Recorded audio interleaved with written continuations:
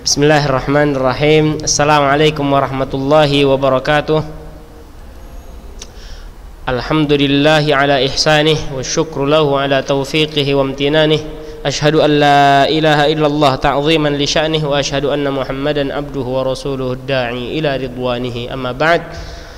Ayyuhat Segala puji dan syukur hanya milik Allah. Kita berikan hanya untuk Allah subhanahu wa ta'ala. Karena ia telah memberikan kita banyak kenikmatan karunia anugerah darinya. Sampai saat ini tidak terputus.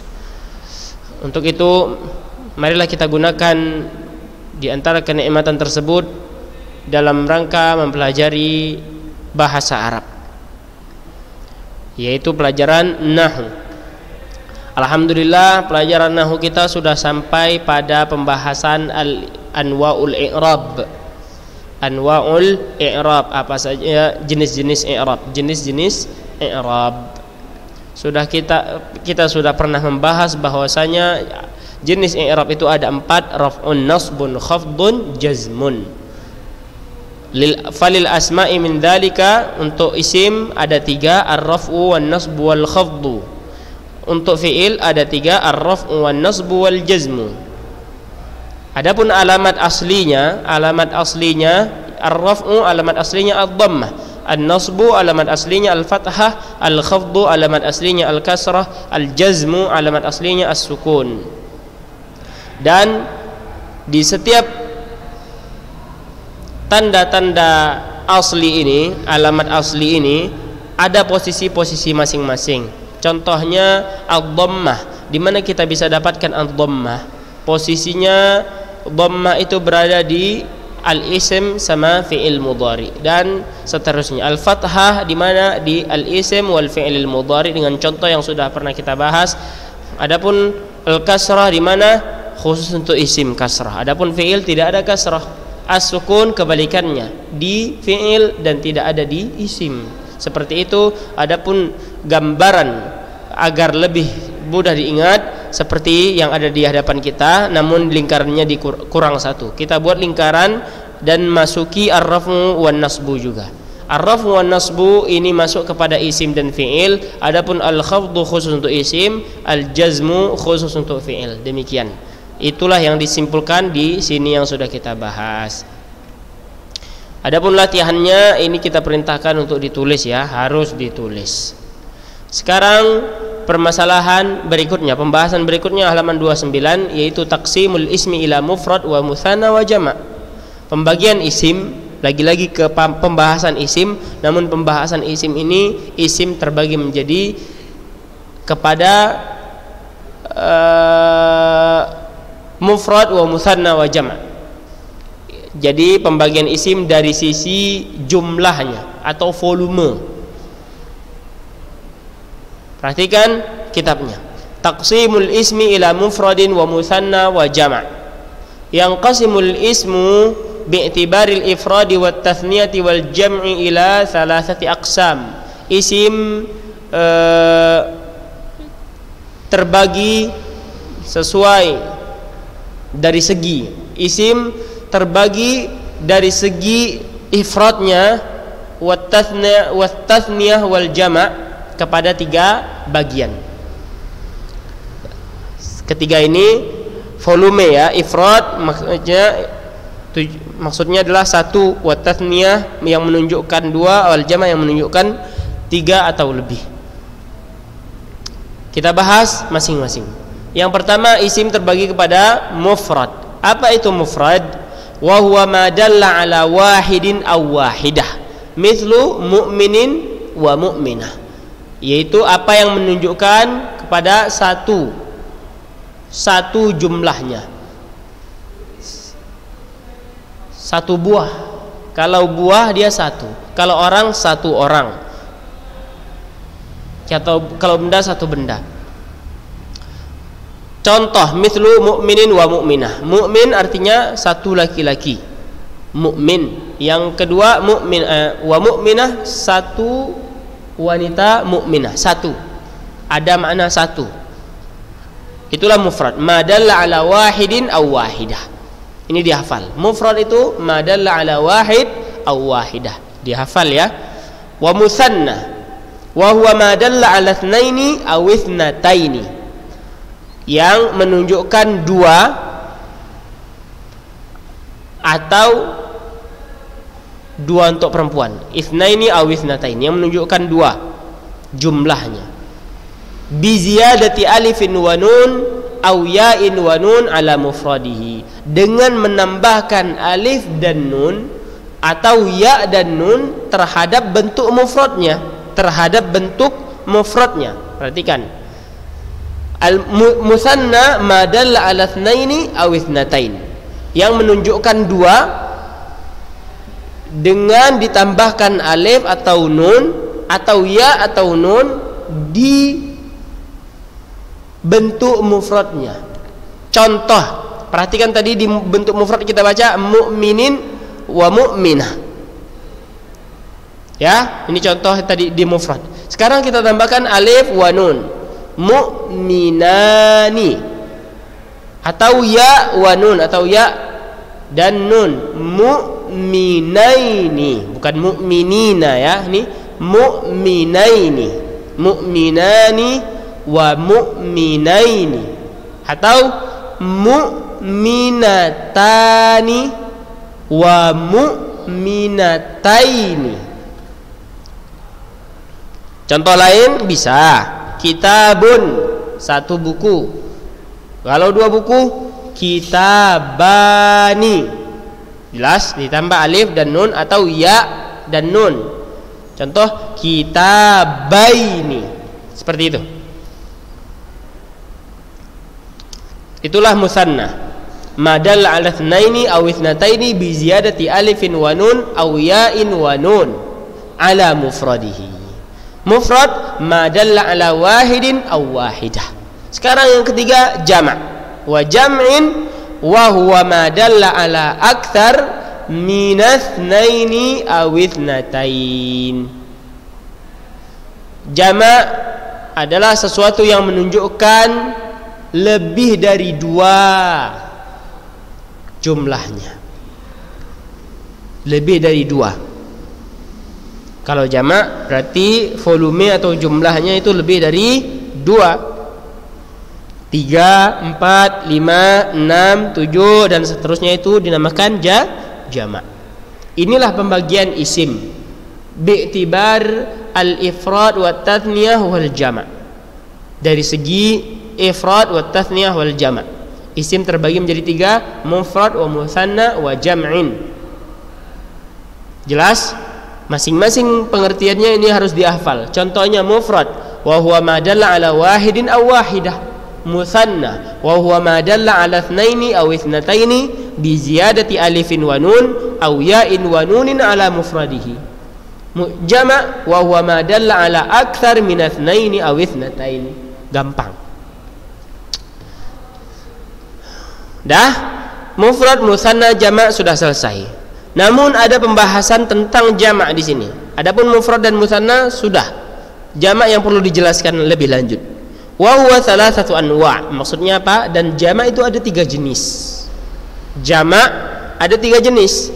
Yang pertama jam'u mudzakkarin salim, yang kedua jam'u muannasin salim, yang ketiga jam'u taksirin. Kita bahas satu persatu. Ini sudah tentu sudah tidak asing lagi bagi antum namun karena ini ada di kitab ini tentu kita harus pelajari kalau yang sudah tahu sebagai murojaah untuknya Taib jam'u mudzakkarin salim apa pengertiannya? Kalau kita sudah tahu bentuknya atau contoh dari jam'u mudzakkarin salim tapi kita harus tahu juga pengertiannya. Wa huwa ala akthar min itsnaini bi ziyadati wawin wa nun aw ya'in wa nun ala mufradihi. Perhatikan. Jama' mudzakkar salim pengertiannya adalah madalla ala akthar min athnaini bi ziyadati wawin wa nun aw ya'in wa nun ala mufradihi yang menunjukkan lebih dari dua dengan ditambahkan waw dan nun atau ya dan nun terhadap gambaran mufradnya. Tadi contoh mufrad kita harus ingat mukminun wa mu'minah. Ya,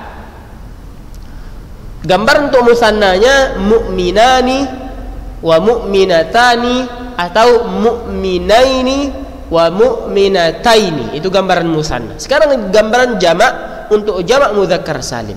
Pengertiannya madalla ala akthar minas nain yang menunjukkan lebih dari dua bi ziyadati wawin wa nun aw ya'in wa nun. Dengan ditambahkan waw dan nun atau ya dan nun terhadap gambaran mufradnya. Mukmin mukminun kita tambah waw dan nun.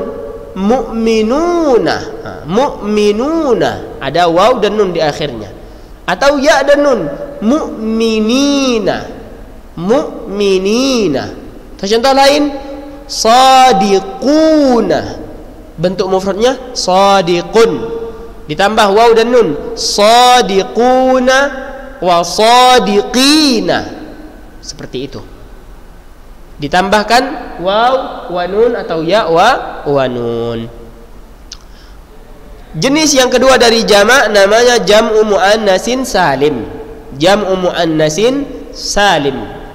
Apa pengertiannya? Wa huwa ma jumi'a bi alifin wa ta'in mazidataini ala mufradihi. Ma jumi'a ma jumi'a bi alifin wa ta'in mazidataini ala mufradihi. Apa yang bentuk jamaknya dengan alif dan ta yang ditambahkan terhadap gambaran mufradnya. Apa yang ditambahkan? Alif dan ta terhadap gambaran muf mufradnya. Terhadap gambaran mufradnya. Ma jumi'a bi alifin wa ta'in mazidataini ala mufradihi. Contoh mu'minatun tadi ada contoh mu'minatun kan? Jamak muannas salim khusus untuk muannas tentunya. Mu'minatun. Atau sadiqatun.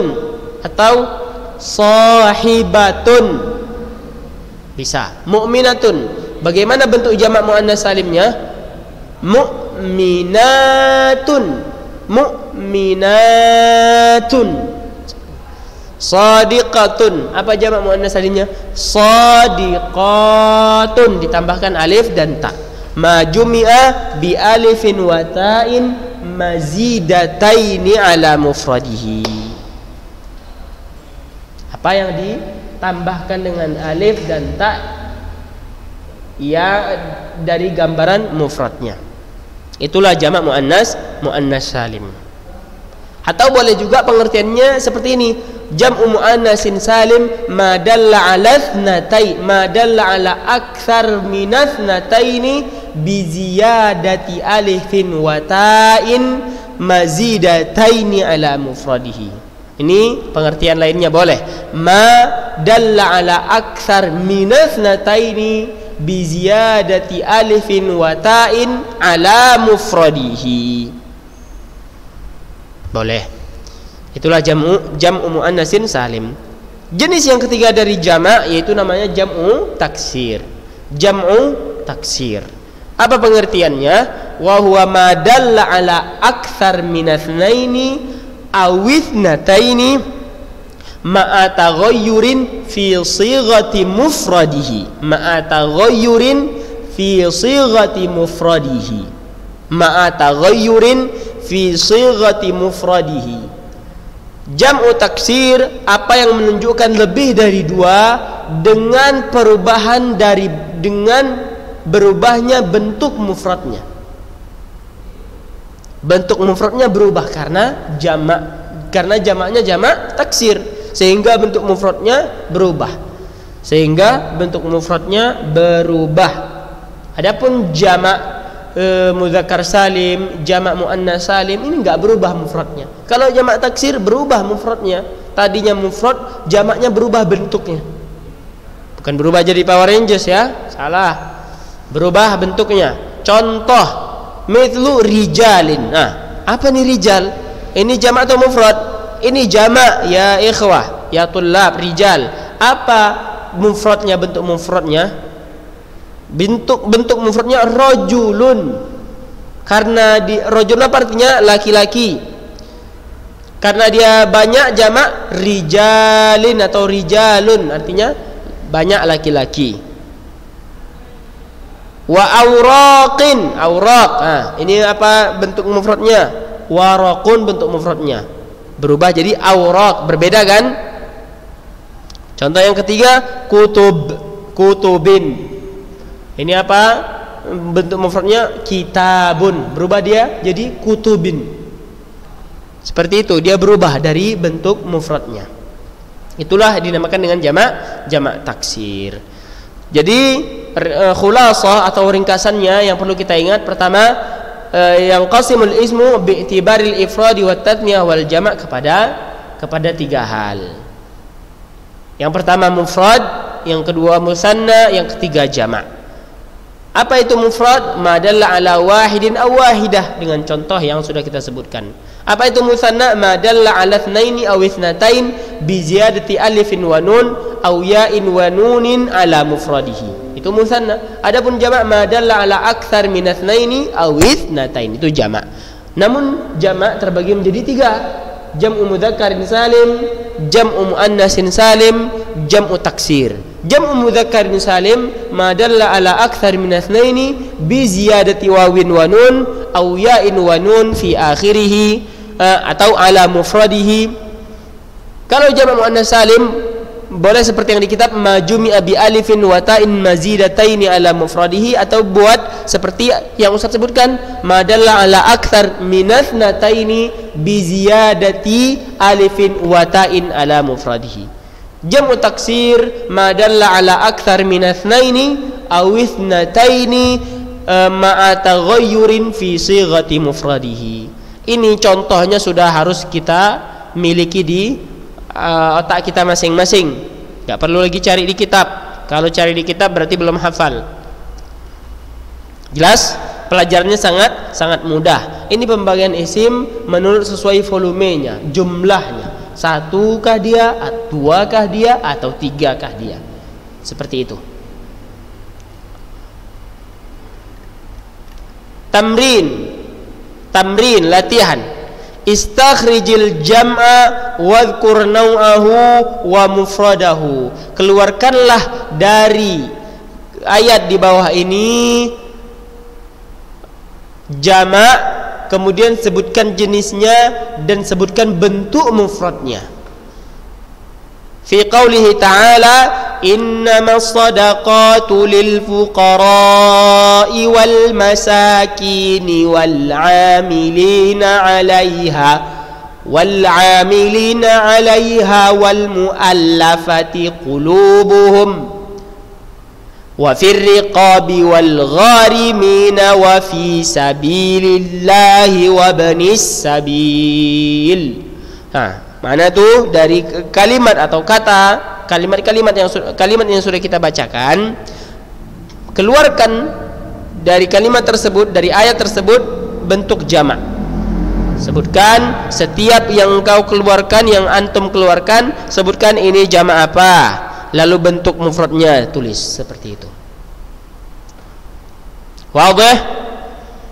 Tayyib.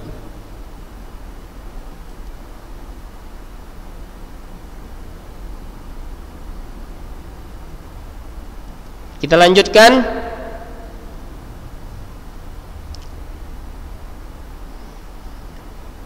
Halaman ke 30 Halaman ke 30 Babu ma'rifati alamatil i'rab Babu ma'rifati alamatil i'rab